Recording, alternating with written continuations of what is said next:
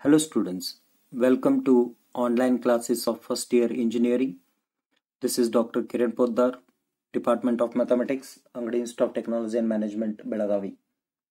In this session, we are going to discuss an example of finding angle between radius vector and tangent from the given polar curve at the rate of theta angle given. Also, we are finding slope of the tangent. Before finding slope of the tangent, we need to obtain the angle between the radius vector and tangent. For that what I do, first we will be taking the given curve that is 2a by r is equal to 1 minus cos theta. 1 minus cos theta. Since this is a polar curve, so apply log on both sides. So log on both sides then it becomes if you apply log on both sides then it is what? Then uh, log a by b. Log a by b. Or else once I take log 2a by r is equal to logarithm of 1 minus cos theta. Fine.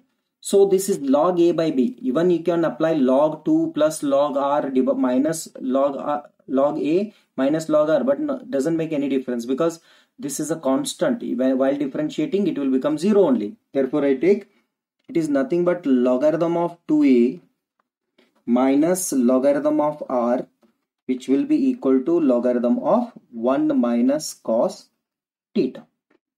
1 minus cos theta. So differentiate this with respect to theta.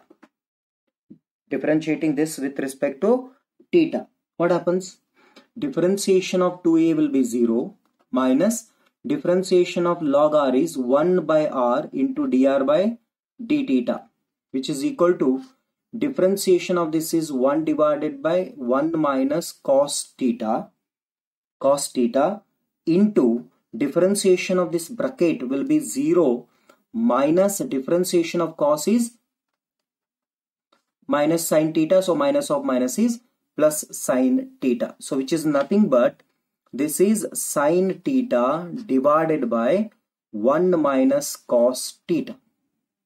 Fine. Therefore, this is nothing but minus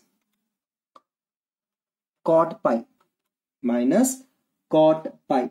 So that is equal to sine theta can be taken as uh, 2 times sine theta by 2 into cos theta by 2 divided by 1 minus cos theta can be taken as 2 times sine square theta by 2. So here 2 to get cancelled, sine sine get cancelled. So this is cos theta by 2 divided by sine theta by 2.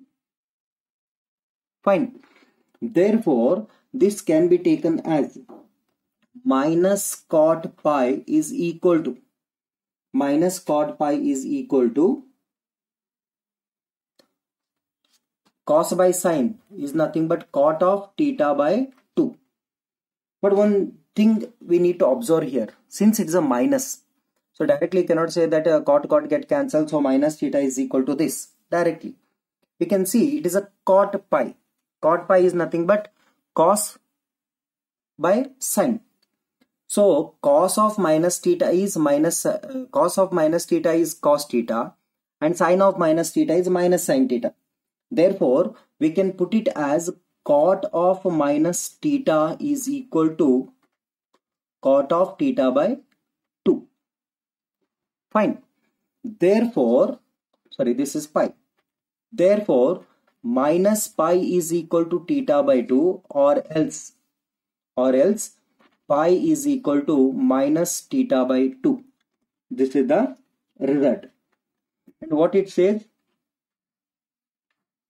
This, this is nothing but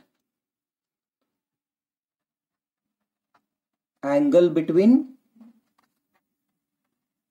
radius vector and tangent. Fine. This is angle between a radius vector and tangent. Therefore, whatever the value of theta is given, that I'll be taking.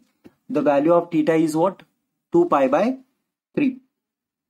Therefore, at the rate of theta is equal to 2 pi by 3, our pi becomes minus 1 by 2 into the value of theta that is 2 pi by 3.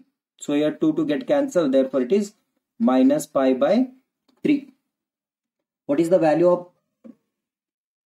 pi, uh, pi by 3 which is nothing but 60 degree. So it is minus 60 degree and this is the value of pi.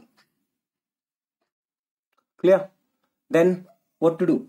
We need to obtain the value of slope of the tangent. To obtain slope of the tangent because we know that slope of the tangent is tan psi. Therefore, we know that psi is equal to theta plus pi. Exterior angle is equal to sum of interior angles.